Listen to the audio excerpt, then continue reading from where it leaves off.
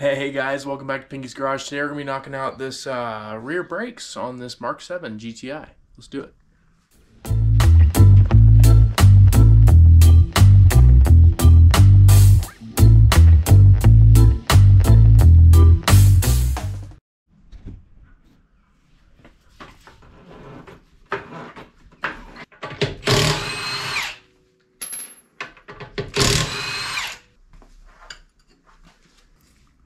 Fourteen millimeter.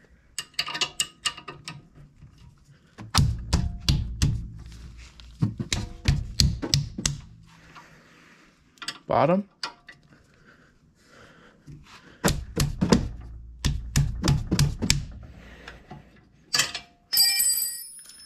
Vice grips.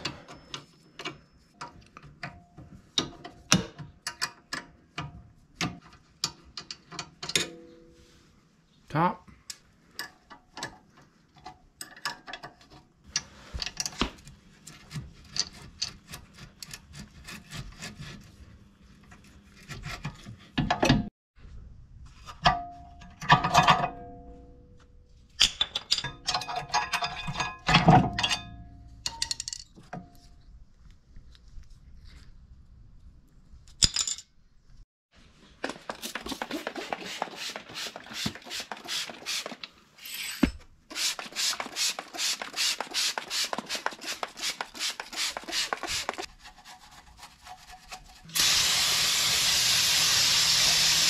Anti-seize on the clips.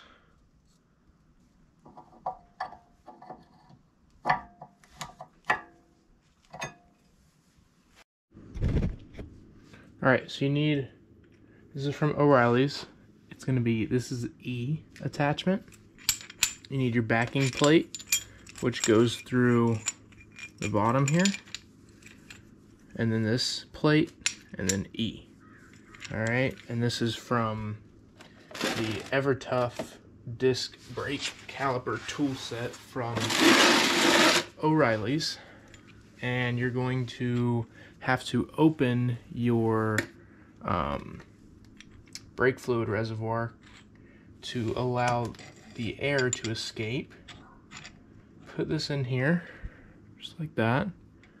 And then we're gonna loosen this to make it longer all right. Make sure those pins are lined up.